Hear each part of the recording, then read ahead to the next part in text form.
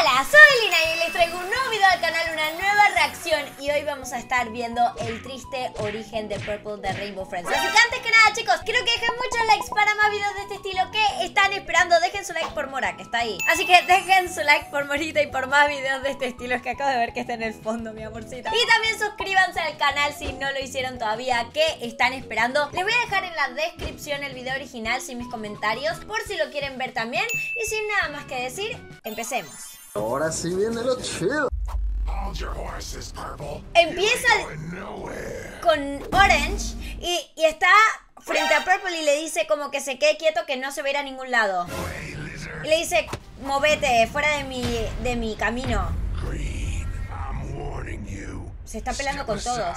Le dice, Green, te lo advierto, eh, movete o si no vas a sufrir la misma suerte. A la pelota. Y le dice, te voy a poner en tu lugar, le dijo Green. ¿Qué? Se están peleando. ¿Qué está pasando acá? ¿Por qué se están peleando?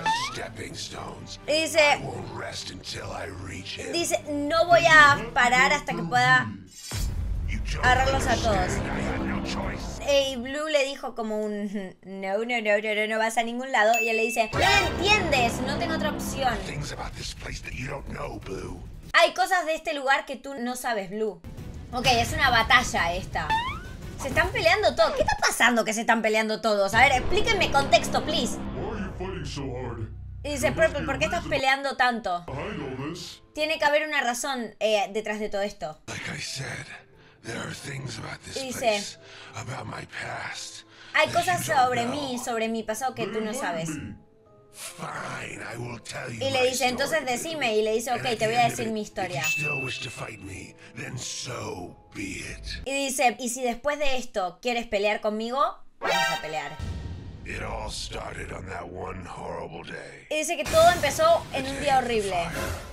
Que fue un fuego. Ay, no, me muero. Hubo un incendio en su casa y perdió a toda su familia y todas sus cosas. Ay, no, pobrecito. Dice que él es un sobreviviente y que desde ahí fue cambiando de una casa a, a la otra. Y que todas las familias como que los querían, pero él básicamente jugó con ellos. Y que básicamente se estaba escapando todo el tiempo. Que se quedaba mucho tiempo en un lugar, empezaba a tener pesadillas sobre su familia y su, su antigua casa. O sea que básicamente lo que hacía era, eh, se iba a una casa, lo adoptaban eh, y, por, y después cuando empezaba a tener pesadillas se iba y abandonaba la casa y después iba a otra casa y así sucesivamente. Y básicamente que como eh, todo el tiempo se iba de una casa a la otra, el sistema educativo no sabía qué hacer con él, porque obviamente estaba todo el tiempo en conflicto. Dejó la escuela y a partir de ahí empezó su vida criminal, por así decirlo.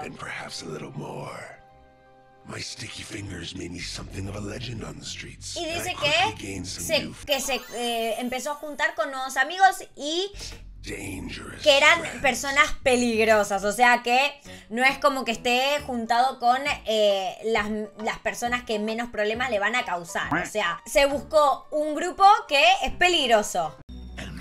Y que tenían una banda bien formada, dice. Y que tenían otra, había otra banda con la que estaban todo el tiempo confrontando por el territorio. Como tipo un, este es nuestro lugar y no, ellos no, este es nuestro. O sea, tenían conflicto de territorio. Y para hacerlo peor, que su líder y él, o sea, el líder de la otra banda, se enamoraron. Ok, la chica se llama Violet y básicamente era la líder de la otra banda y se enamoraron. Ahí veo conflicto. Esto se va a poner feo. Y le dice, ¿cómo te casaste? Ah, sí, y dijo que se casaron. y dijo que se casaron. Como lo dije, hay cosas de mi eh, pasado que vos no sabías. Nuestro... Ok, dice que su romance se fue haciéndose en secreto como para no enojar a ninguno de los dos de sus bandas, digamos. Pero eventualmente era demasiado ocultarlo porque ella se quedó embarazada. Y en ese momento dijeron, tenemos que irnos de acá, así que vámonos. Así que se escaparon. Y básicamente dice que se habían convertido en buenos en correr de la vida, en escapar. Y un año después tuvieron una hija. Y que se tenían a ellos mismos y que podían finalmente empezar de, de, cero. Pero que la vida tenía otros planes. Y que un día los ex compañeros de banda de la chica eh, la encontraron cuando estaba haciendo las compras. Y que ellos no estaban muy contentos con lo que es un desertor. Así que ella después no volvió a la casa. Me voy a tomar un colacao, me estoy poniendo nervioso. Perdón, me río porque vi pasar a Mora por, por detrás, está corriendo como loca. Dice que Después de esto le costó básicamente poder eh, llegar a fin de mes, pero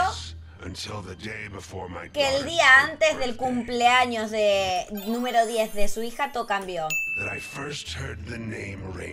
Y que ahí fue la primera vez que escuchó el nombre Rainbow Friends. Y que aparentemente era tipo súper popular en, los, en la clase de su hija y con todos sus compañeros. Y que, que él no podía pagar el llevarla ahí.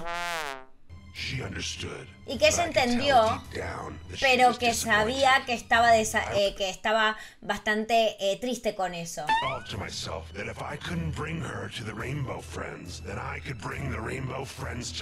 Y dijo que estaba convencido de que si ella no podía llevarla a los Rainbow Friends, que podía llevar a los Rainbow Friends hacia ella.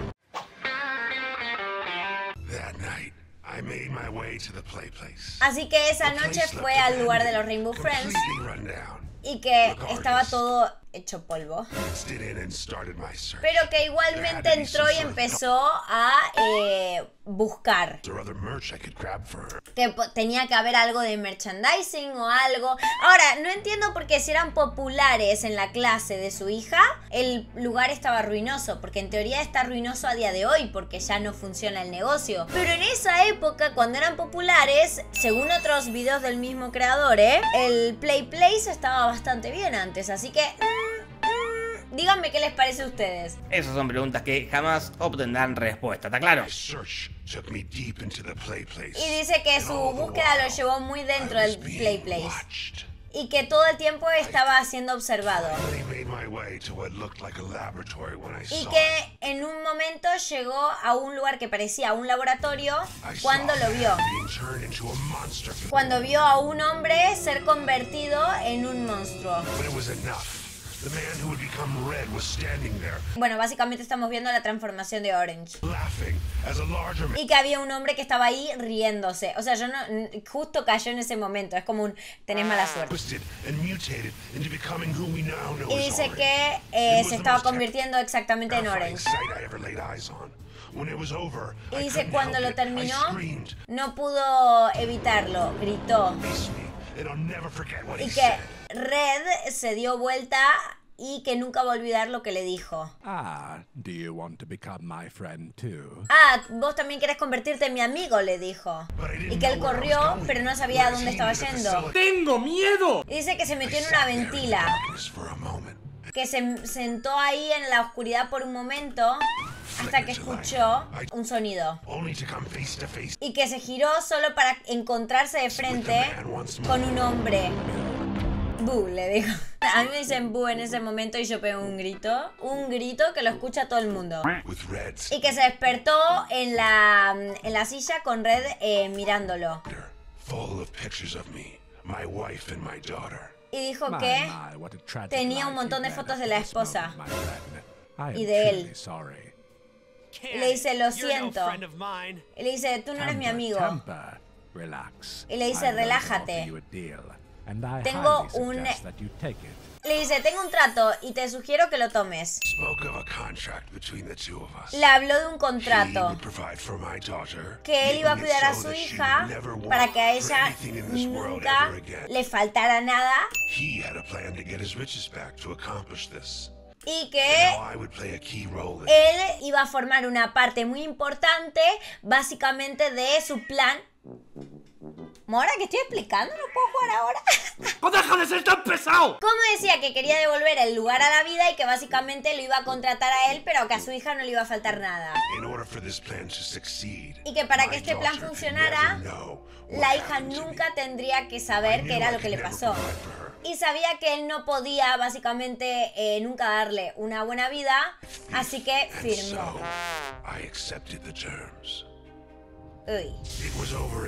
Y dice que fue, que fue todo muy rápido. Y dice que cree que, que gritó, pero es que casi que ni lo puede recordar. Y que antes de que lo pudiera saber, sus extremidades se habían eh, hecho muy largas y su piel se volvió violeta. Que aceptó su nueva eh, vida como un Rainbow Friend. Y que, como que Red, eh, porque sabemos que el, el, dueño se convierte después en Red, todos los meses le mandaba como updates, como que le iba diciendo cómo era la vida de su hija, como para que él estuviera tranquilo, que a la hija no le faltaba nada.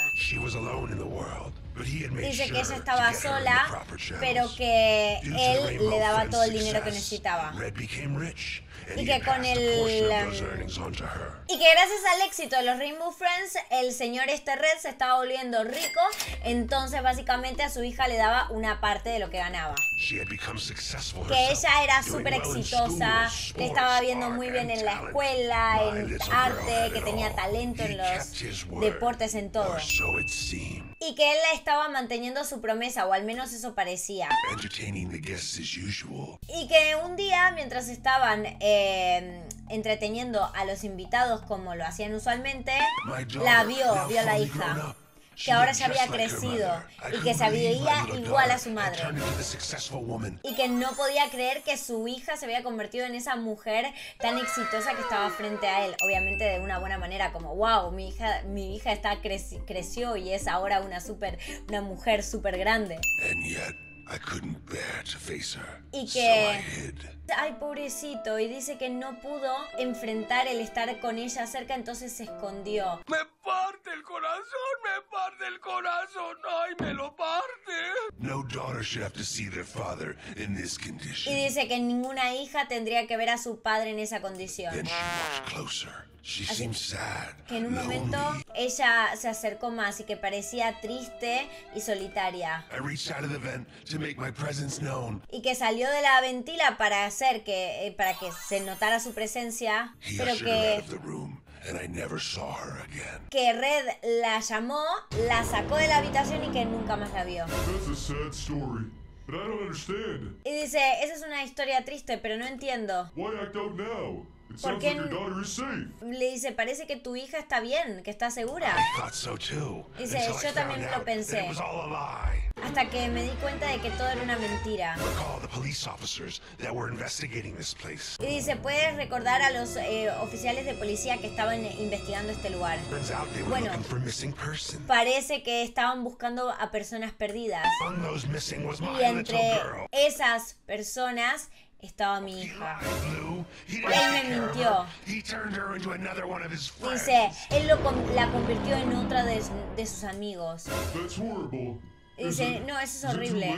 Es demasiado tarde, le dice Blue. No lo sé. Dice, no ha habido un nuevo amigo hecho en, en mucho tiempo. Pero de todas maneras, Red va a pagar por lo que hizo. Huele a venganza. Le dice, ¿estás conmigo? Vamos a hacerlo, dice. Dice, Red, tenemos que hablar. Ah, dice, oh, Blue, Purple. Estaba esperando que se unieran a nosotros. Y ahí está la hija. Pará, pero una pregunta, ¿cuántos años la tuvo? Digo, porque cuando ella estaba en la habitación que dijo Blue, eh, Purple que ya no la vio nunca más, Red todavía no era un Rainbow Friend, era el dueño del lugar. O sea que cuánto tiempo ella estuvo encerrada en esa habitación. Raro. Siento que esta historia en comparación a las anteriores, que las anteriores se las dejo todas en la lista de reproducción de la anterior, es la que más huecos tiene. Como que mucho sentido no tiene, que hay cosas raras ahí mal contadas. Díganme ustedes qué les parece. Me parece que la historia está muy buena en sí, pero es verdad que tiene ciertas como cosas que decís un... Pero si antes cuando ella desapareció Red no era Red, todavía era el dueño del lugar. ¿Cuántos años estuvo atrapada y por qué no la convirtieron en un Rainbow Friend hasta ese momento? Esas son preguntas que jamás obtendrán respuesta, ¿está claro? No, eres un monstruo, déjala ir.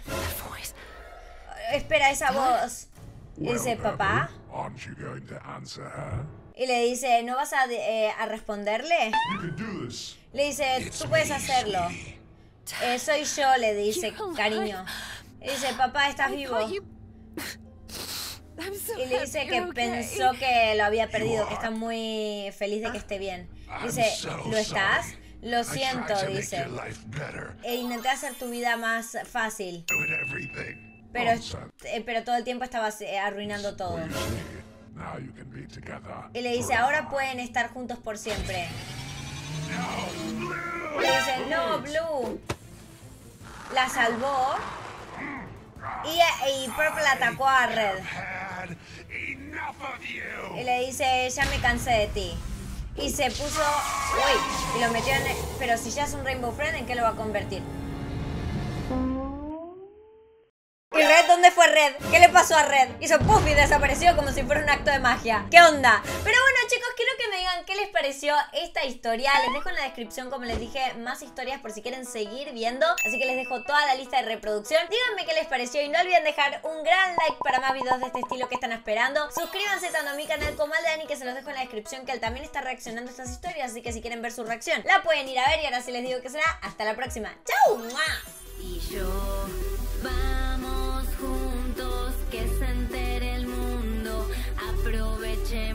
Quiero